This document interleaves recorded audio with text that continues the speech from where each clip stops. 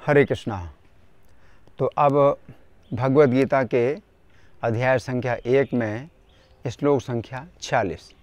संजय उवाच, एव मुक्त अर्जुन संख्ये रथोपस्थ उपाविशन, विसृज्य ससरम चापम शोक संविघ्न मानसः। तो यहाँ पर अब संजय धृतराष्ट्र से कह रहे हैं हुँ? क्या कह रहे हैं? एवं उक्त्वा अर्जुना संख्य ऐसा कह कर के हुँ? तो श्री कृष्ण से ऐसा कह कर के अर्जुन युद्ध भूमि में क्या करते हैं?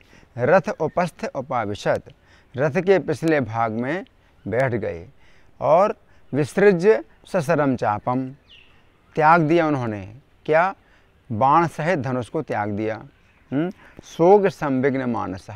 और शोक में जो है उनका जो मन है वो पूरी तरह से डूबा हुआ है। तो अर्जुन का मन जो है अब शोक में पूरी तरह से डूबा हुआ है। तो तात्पर्य में प्रभुपा लिखते हैं, अपने शत्रु की स्थिति का अवलोकन करते समय अर्जुन रथ पर खड़े हो गए थे। किंतु वे शोक से इतने संतप्त हो उठे कि अपना धनुष बाण एक ओर रखकर रथ के आसन पर पुनः बैठ गए।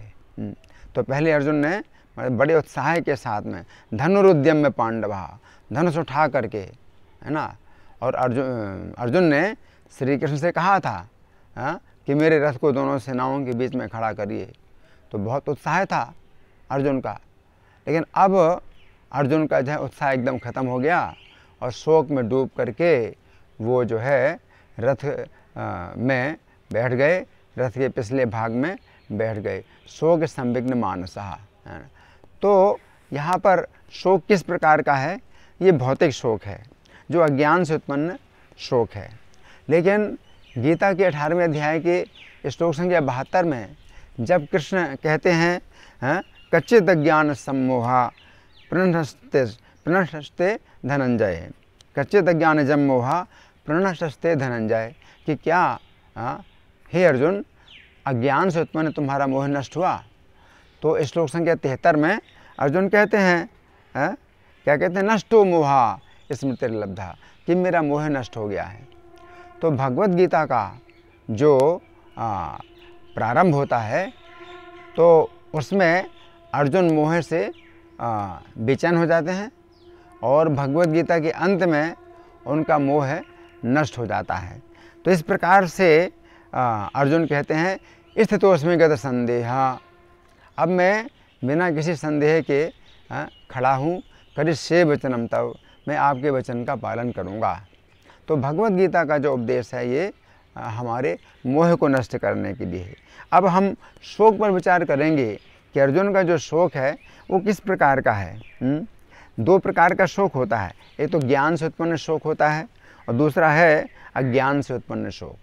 तो जो भक्त लोग हैं वो भी शोक करते हैं है? हमें शोक करना चाहिए है? लेकिन किस बात पर शोक करना चाहिए कि हम इस भौतिक संसार में क्यों आए हमने भगवान की सेवा आ, को छोड़ा और इस भौतिक संसार में भौतिक प्रकृति को भोगने के लिए आए और दुखों के जाल में फंस गए तो इस प्रकार का जो शोक है जब भक्त करते हैं तो ये ज्ञान से उत्पन्न शोक है इसका अच्छा परिणाम होता है। जैसे महाराज कुलशेखर ने मुकुंदमाला स्त्रोत्र में एक श्लोक लिखा है। उसमें वो कहते हैं, श्रीमन नाम प्रोच नारायणाख्यम के न प्रापुर वांछितम पापिनोपी कि श्री नारायण के नाम का जप करके कितने कितने पापी हैं। उन्होंने अपनी सब वांछाएँ पूरी कर लीं हाँ। न पूर्वम वाग प्रवृत्ता न तस्मिन। परंतु हाय हम पहले से ही इस नाम को नहीं लेते रहे। हमने पहले से ही इस नाम को नहीं लिया। तेन प्राप्तम गर्भवासादि दुखम। इस कारण से हमने गर्भवास के अनेक प्रकार के दुख प्राप्त किए। तो ये जो शोक है ये आध्यात्मिक शोक है और इस शोक के द्वारा आ, हम जो है सचेत हो जाते हैं कि आगे से हमें क्या करना है? जैसे अजामिल अजामिल ने शोक किया जिस समय उसने नारायण नाम का उच्चारण किया और विष्णुदूत आ गए और उन्होंने नरक में जाने से अजामिल की रक्षा कर ली हाँ?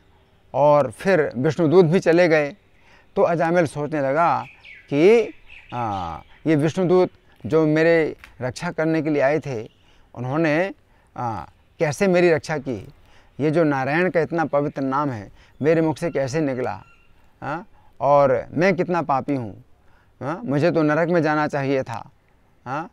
तो इस प्रकार से उसने शोक किया कि मैंने अपने माता पिता की सेवा नहीं की और अपनी आ, सुंदर और सुशीला पत्नी का त्याग कर दिया और वेश्या की संगति की और सब प्रकार के जुआ व्यभिचार नशा मांसाहार इन सब में अपना जीवन बिताया। मैं कितना पापी हूँ।